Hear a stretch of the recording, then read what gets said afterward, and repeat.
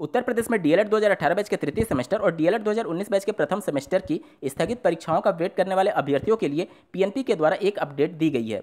Screen पर आप PNP की official website UP info dot in देख पा रहे हैं। यहाँ पर दिनांक सात अगस्त 2020 को एक आर्टिकल पब्लिश की गई थी UP DElEd first semester exam date 2019 batch. जब इस पर आप क्लिक करेंगे तो आपके सामने एक नया पेज ओपन होगा, जो कि आप देख सकते हैं।